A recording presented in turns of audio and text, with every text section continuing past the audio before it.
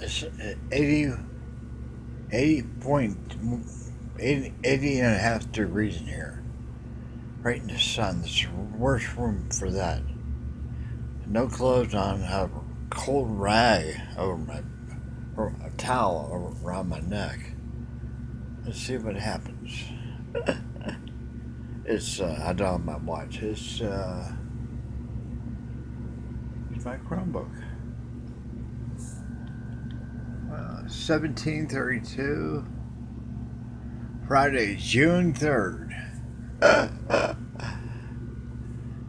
10 4, 10 4.